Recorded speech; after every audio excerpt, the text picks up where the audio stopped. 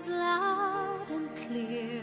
Sometimes it's so softly there. Sometimes it is in the sea. Sometimes in the sky.